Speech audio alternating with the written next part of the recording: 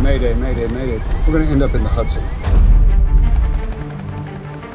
In the case of uh, Sully and that particular flight, he chanced the water landing rather than try to make an airfield that was probably impossible to make.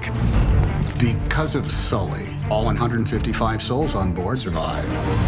People call you a hero. Show us your case, Super Sully! The conflict was the investigative board was trying to paint the picture that he had done the wrong thing.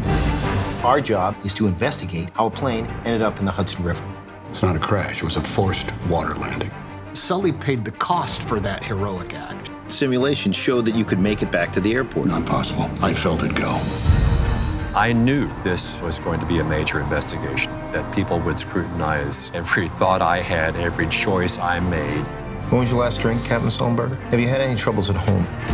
Having NTSB question whether or not these guys did the right thing, it's a very interesting and compelling part of the story that nobody ever heard about.